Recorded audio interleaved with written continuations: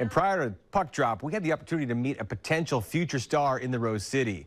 15-year-old goaltender Morgan Stickney made history as the first American-born female to be drafted in the WHL by the Hawks back in May. The high school sophomore grew up in Redondo Beach, but currently learns and plays for Shattuck St. Mary's women's program in Minnesota.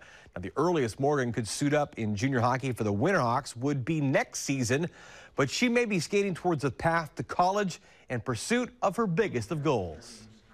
Obviously, it's super cool, but I always am like, I always have like the bigger goal in mind. Like next year, I'm gonna try to make the national team, so I always have to focus on that.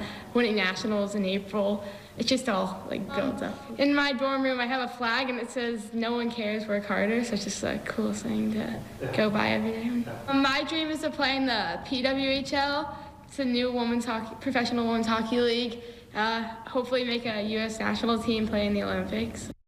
We will certainly hear more of Morgan Stickney, if not here, than across the globe. The Hawks have her playing rights through 2028 if she decides junior hockey is her route to become a pro. Morgan will get a shot at skating with the Hawks for their practice on Friday morning before flying back to school in Minnesota.